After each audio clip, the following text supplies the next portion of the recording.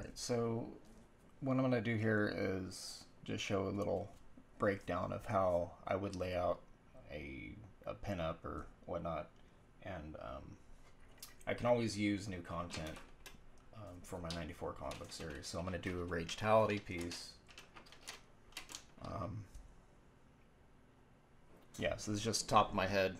Uh, I don't have any uh, real purpose for it. I'm, I'm going to use it for something at some point, though.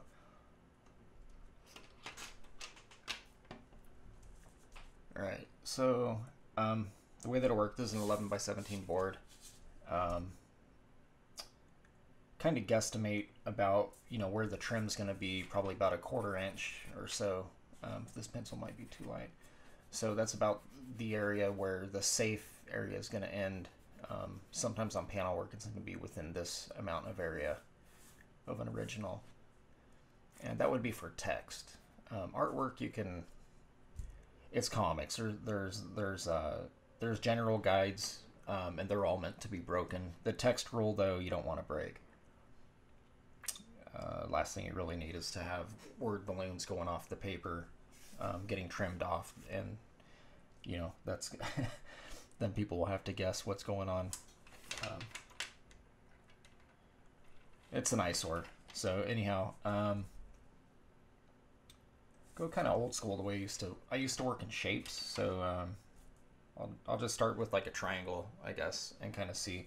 So I'm gonna just sort of, uh, I'll break this piece up to a to a triangle, but I'm gonna have it um, kind of off centered. So we'll just kind of run like this. So I already know that I want the focal point to kind of flow um, in this direction, similar to to a, a sequential page in a way. Um, there's a lot of things you can do to help that with character placement, limb placement, shadows. The list goes on. Um, but I'm not really going to focus on that right now since this is just a pinup piece. So, um, had a general idea of just uh, a rage, maybe just getting absolutely destroyed. So that is one of the the things that I do in the book a lot. Is he he tends to uh, not really come out on top in a lot of situations. Actually, most situations. That's that's almost the premise of the book.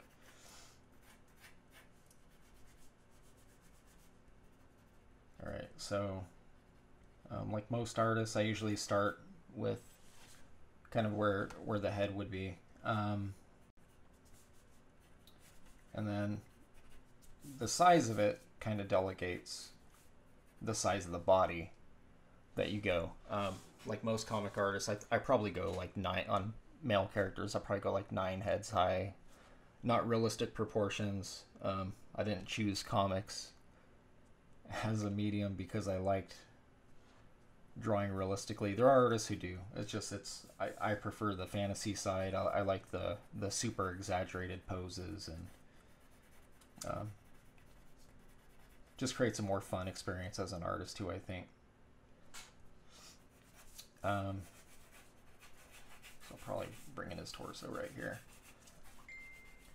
This is probably very common for most artists. You kind of work out like where the rib cage, um, the center line of where you want the character, um, the hips. I kind of build, I kind of build my characters um, almost like action figures or like a transformer toy where you can see the joints you can see the hips you can see the shoulders. Um,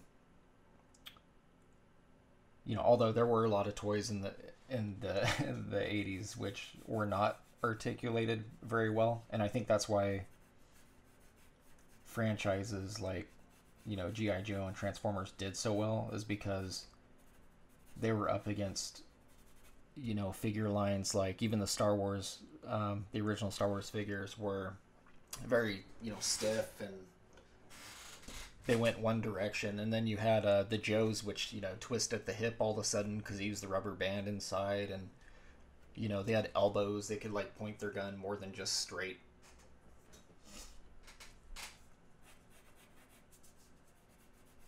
So I'm kind of a product of both if I draw something that looks super stiff, I'm going to blame it on the 80s.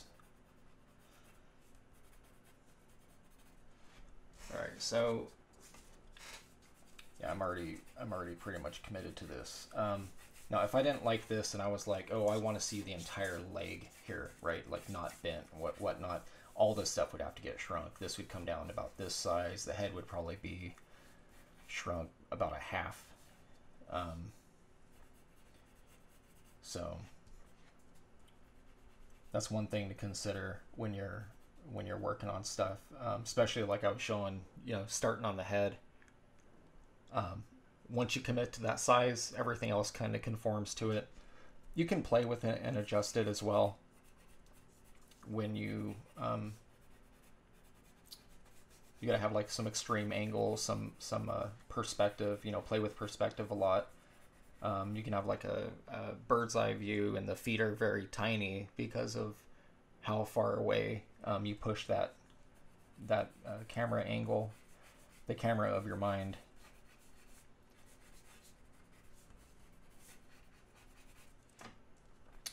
I think that's really the only time that I will use uh, photograph reference is when it, it's something that I can't really um, imagine.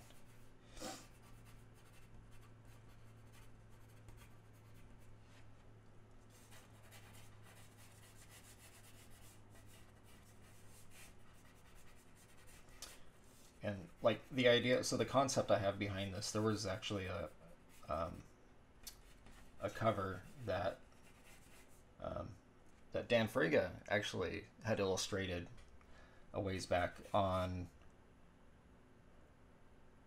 I think it was Bloodstrike, but he did one where he was just he was tore up, and it was a very it was it was a pretty cool piece. Um,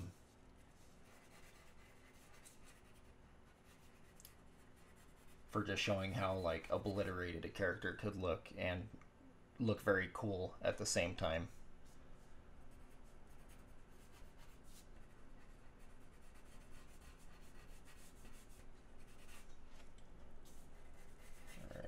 So um, I'm not really sure about where I'm kind of going with this with the forearm. So I, I do know that I want an insane weapon, but I want it to have some weight to it. So I'm going to have it pointing down, not being used. So I might just create a, an area here where the wrist is kind of flipped. Um, this is how I do most of my most of my own personal stuff. I don't really I'm not a I'm not a huge fan of the uh, the layout process. Um, I will do thumbnails and things like that, but I, I don't necessarily uh, feel that the energy stays when I, you know, work in the, in the way that I used to work, which was I would do these uh, these itty bitty thumbnails, and then um, you know show oh this character is punching this character and you know whatever. Um, and then you know I would blow that up and do a like a lightbox trace of that, and it just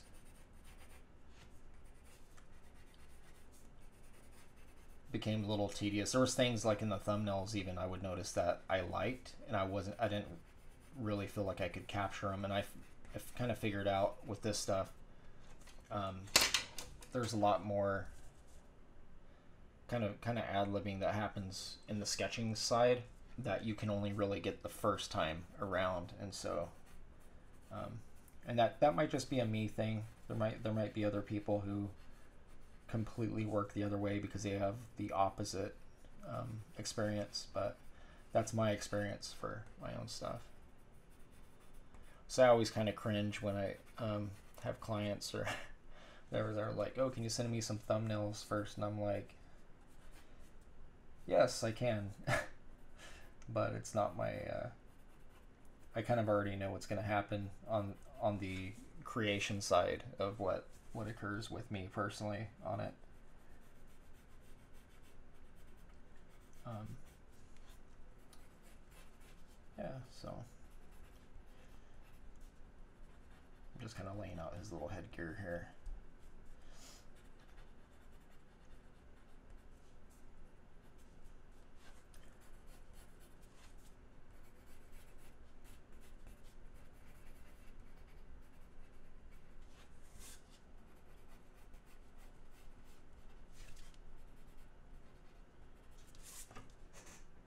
so yeah, this recording I'm just gonna do a little bit of the layout and um, uh, maybe some rough pencils and then and then call it. Um, might do a separate an actual stream for the for the inking uh, side of that.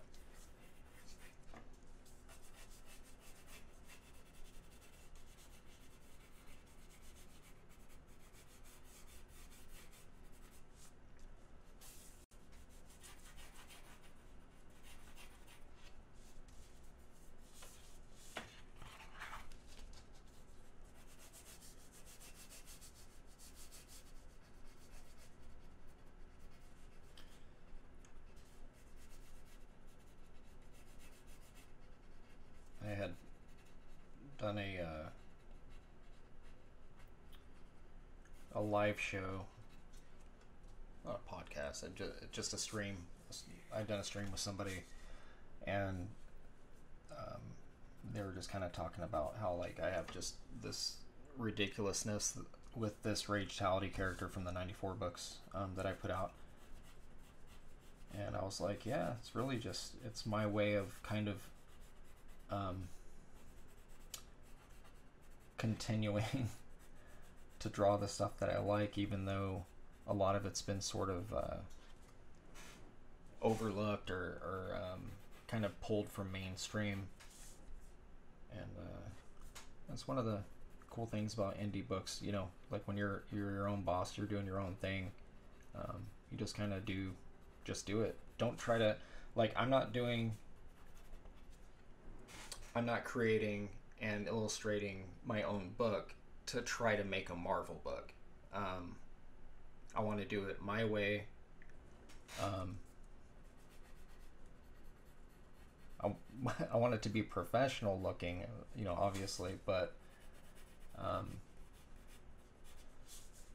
you know, I'm not checking off any boxes with anything that I create. It's it's all just what I feel like I want my book to do, um, what I want it to um, kind of represent with myself. Um, and I like seeing other people's iterations of my characters and all that too. It's funny to see. Sometimes they'll they'll they would do like a rage piece, Ragetality. Um, they do a piece of him, and it'd be very much like something you would see, um, like on a Deadpool cover, you know, things like that. And and I think that's cool. Um, but also it's just it's kind of silly to see um, you know it's like uh, if, if i created a character who flies um, you know there's a very a very like basic kind of you know you already know you're probably going to get a um, superman-esque pose. Um, i always find it interesting though like when you get something completely different you know um, Ragetality eating a pot pie. you know, I mean, that kind of stuff is cool too, and that's that's the stuff that um,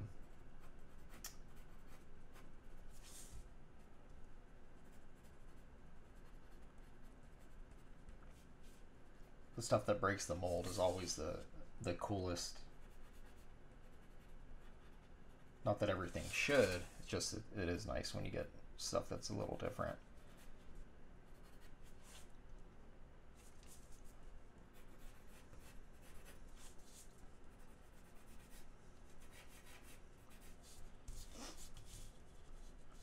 Thinking with this weapon, I, I always go. Um, I usually just with him. I'll, I'll usually just play with uh, play with swords, like uh, just holding two or three in one hand at once, and the other hand has two or you know gun you know popping off. Um,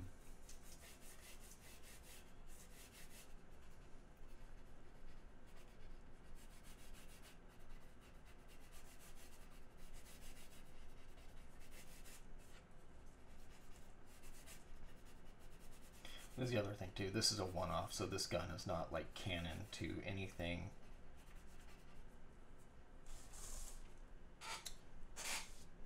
Anything regarding the book or the story, so I'll probably go nuts with these.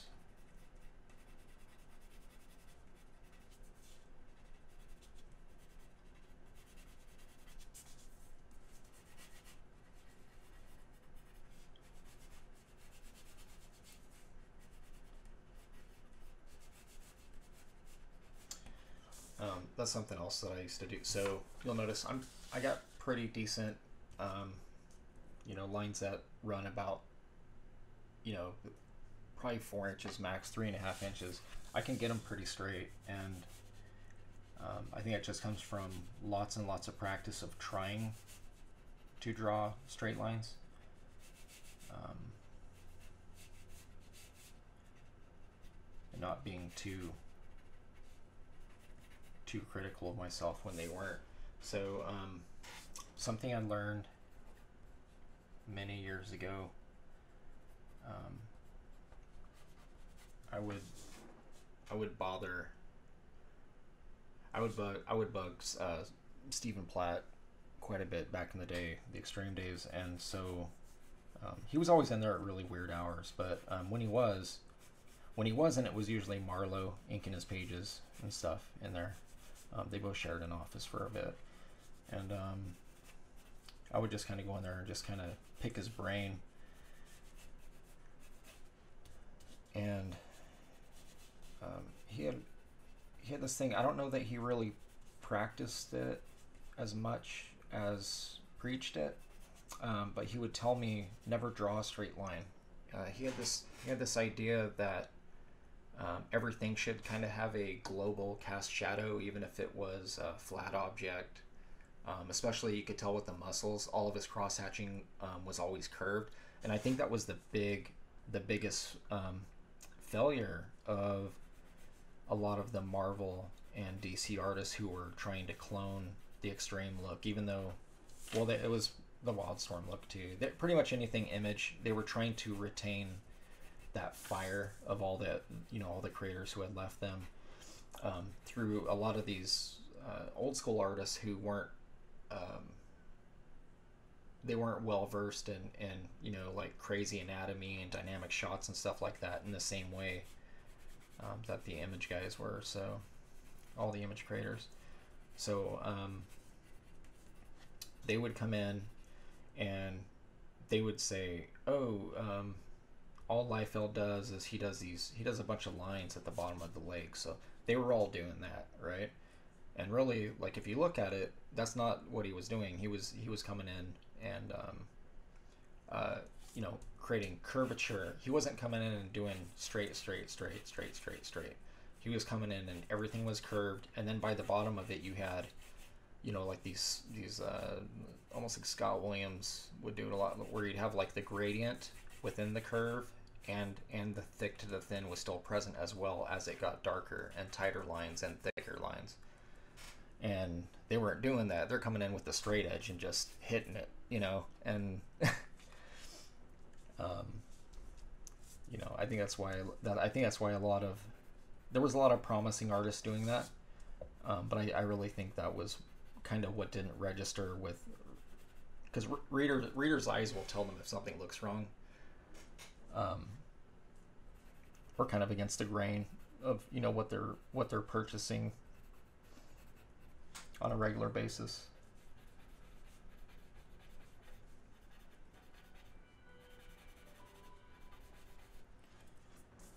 So, yeah, I'm thinking like this. I might just give him a little clock up here. I don't know. This is always a tough one for me. Um, figuring out how how high or to bring it forward. Just probably just bring it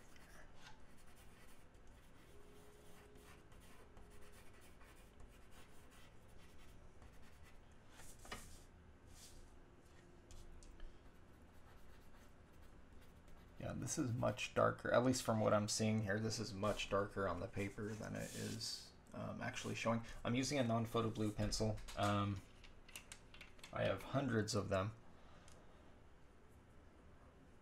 And some of these are older than than uh, the rest. Like I know this is the old Col-Erase Prisma, and then I have the original non the original copy knots. Um, at some point, Prismacolor purchased uh, either the branding or the company that was making the non-photo materials. Um, and I think that was in the in the 90s. But I've, I've been buying them in bulk for so long that every once in a while I'll come across um, an old pencil and you know I'm like this pencil's got to be 30 you know 30 years old and it's still doing its job.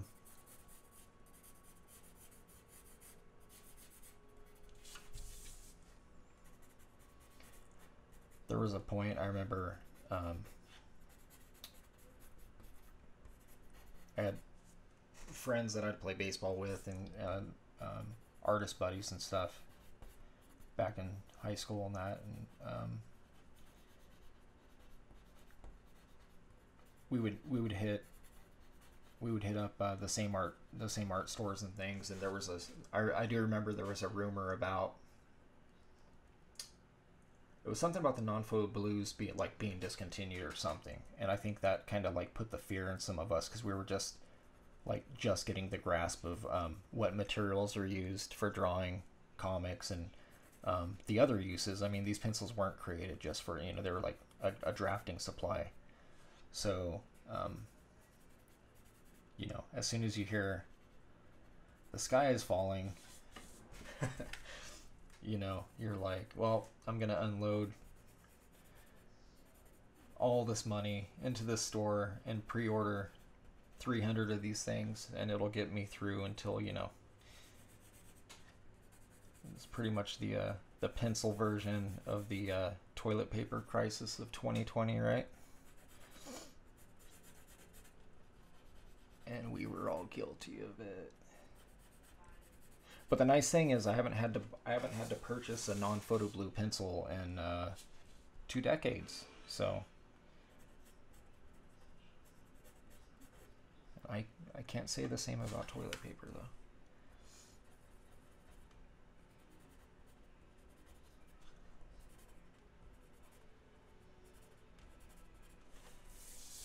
Yeah, so I think that works pretty well. I some um, one of my one of my weak points is foreshortening. For some reason, foreshortening arms. I either get it the first time, or or I just fight it, and I'm like, you know what, this elbow's in the wrong place. Oh wait, now that whole that whole uh, you know that whole muscle is, is drawn incorrectly. It's not um, you know it's not reflecting what's going on here with here. Um, but I'm happy. This I think this looks okay for what it is.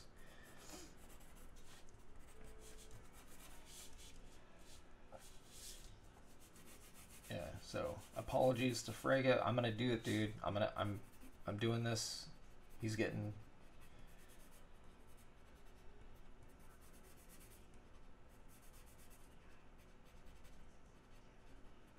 He's getting the steak treatment.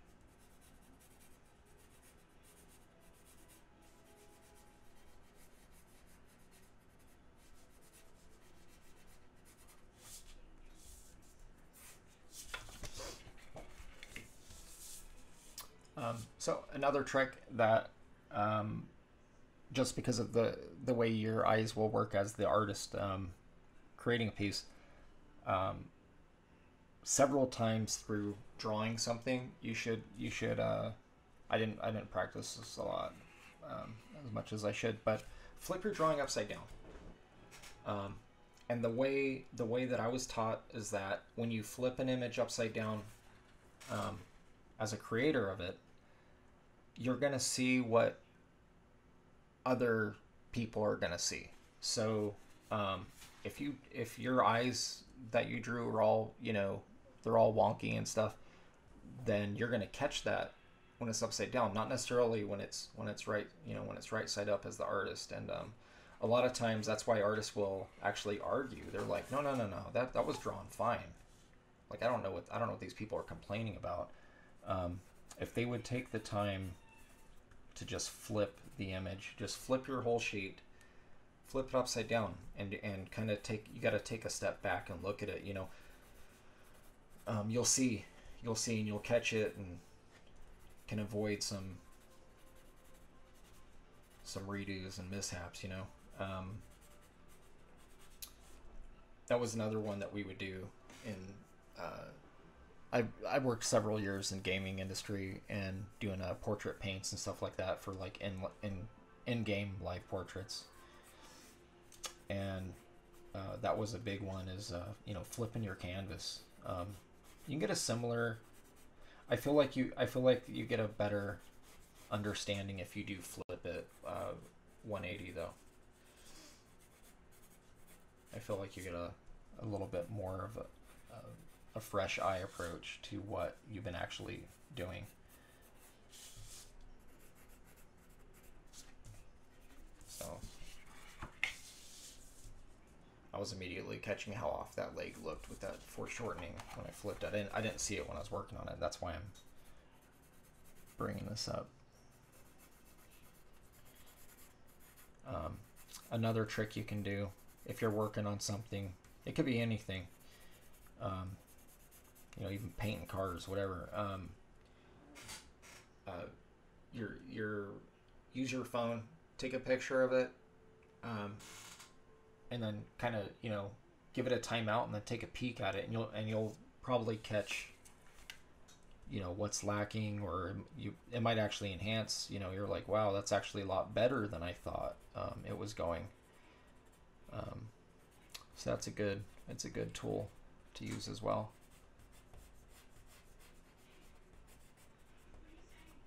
There's times where I've done sketch covers and stuff, and you know I post like an I post like an Instagram photo or whatnot, and then I see the picture posted, and I didn't catch it. You know, I'll see it like a month later, and I look, and I'm like, man, that face needs some work. Like I didn't I didn't see it in you know in the beginning, but it happens. You know, art is subjective. Um, you know, fortunately, most artists are given a pass for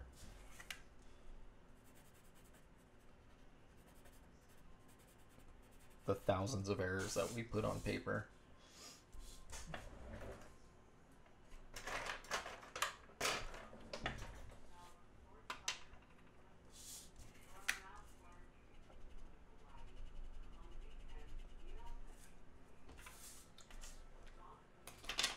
Another tool I use. I use this uh, microfiber claws. I use. I use these for eraser dust of all things.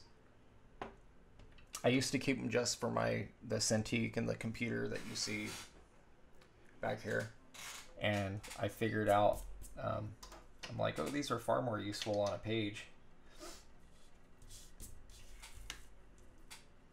I can work with a filthy computer. I can't work with paper with the eraser dust all over the piece.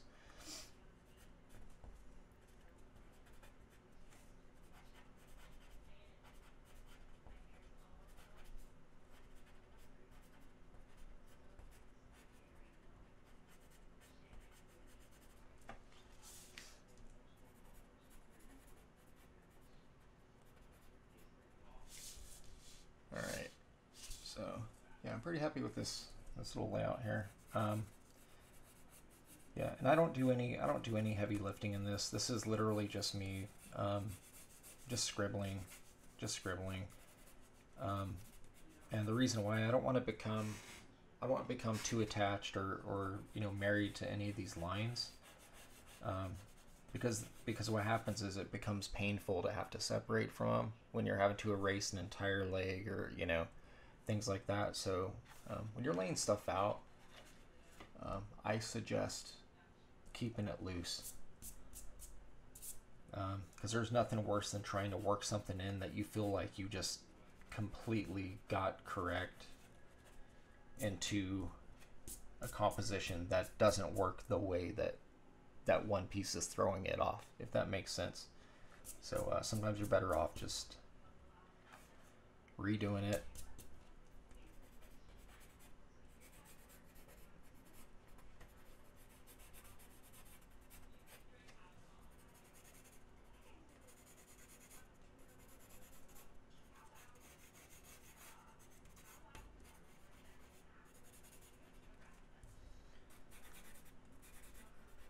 But yeah, I'm gonna I'm gonna litter him up with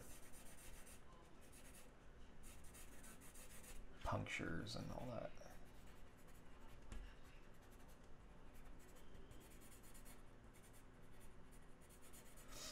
It's been a while since I've used um, like black black splatter, you know, where you get the the black ink and you're working it over a spot um, with the grit, and so I'm thinking already this is going to be a piece which will feature that, just because um, I did a little bit of it for the uh, the bloods the the spackle and spray on that um, that replicator cover when I inked it. I, I came in and, and hit it. I tried not to go too try not to go too hardcore on it, um, but enough where it's visible. Um, and I think it definitely um, gave it a little bit of an edge, an edginess.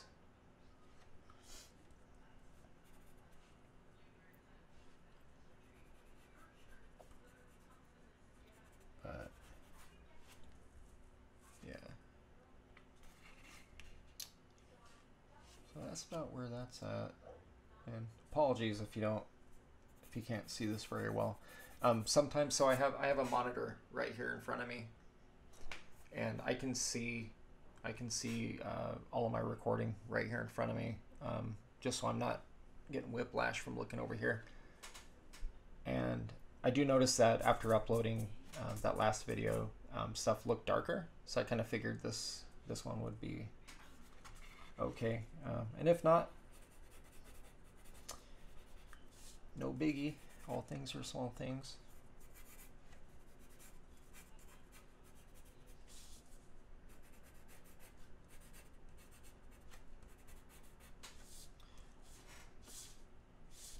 All right.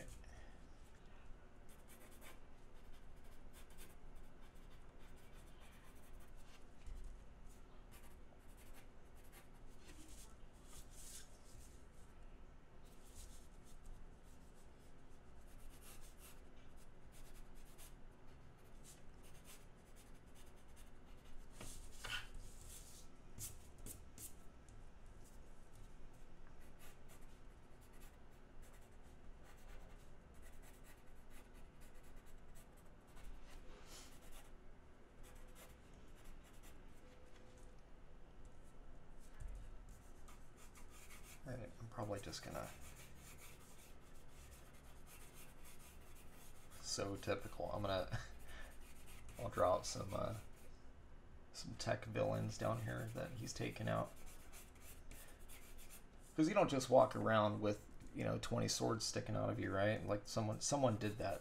Somebody did that to you, unless you're in in the circus doing it to yourself. Just it's not normal. I'll just sort of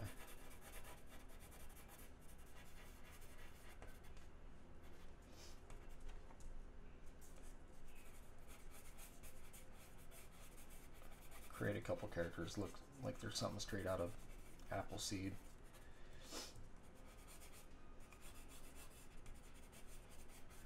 Those are always my favorite. Um, the ones with like they don't fly, but they got the wings sticking out the back and all that. They just they have a very strong, um, like a silhouette contour look to them.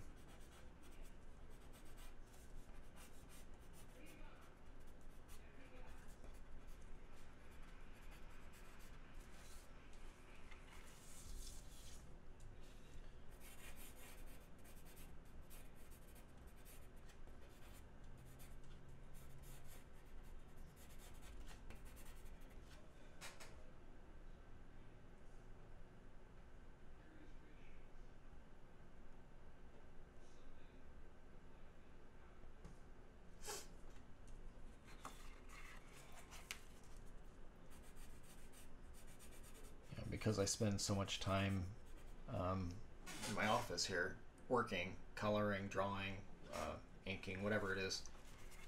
I don't have a whole lot of time to um, play games, like you know, video games and all that. So I will usually. Um, I didn't even know I can somehow I, I missed it. Um, I'm a really big Warriors fan of the film, and I did uh, I did play through and, and unlock everything in the original uh, the Warriors video game on the PS2. But I had seen that there's a a complete walkthrough of the PS4, and then the same the same poster put up a uh, you know all the I guess there's flashback. There's a lot more stuff in the PS4, and um, so I contemplated, and I'm like, I I don't have time as much as I would like to.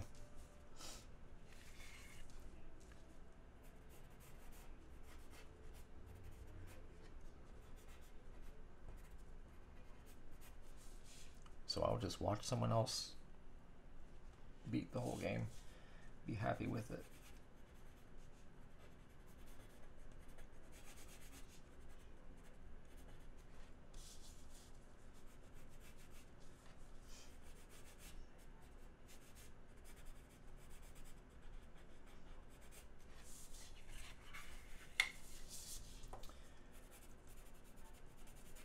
Yeah, so this, yeah.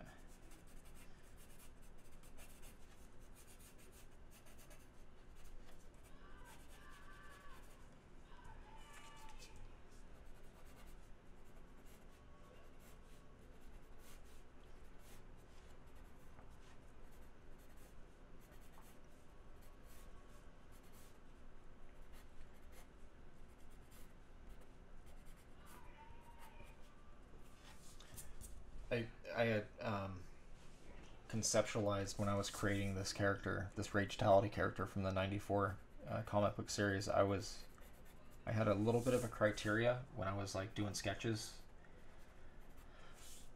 and pretty much um, my two criteria was uh, cool mask, cool face mask, that something that looked dynamic to me, and metal arms. Just because I really like the look of like the banding um, crazy unrealistic, um, yet very cool looking metal metallic arms.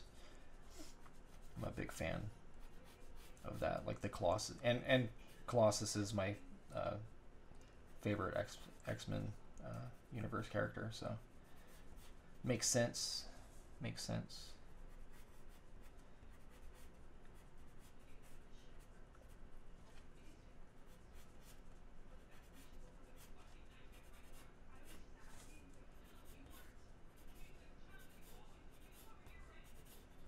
All right. So I think this is going to be about it. Go into the uh, actual doing the line art process, I'm to go off and get them super gritty. So, all right, that's it for that.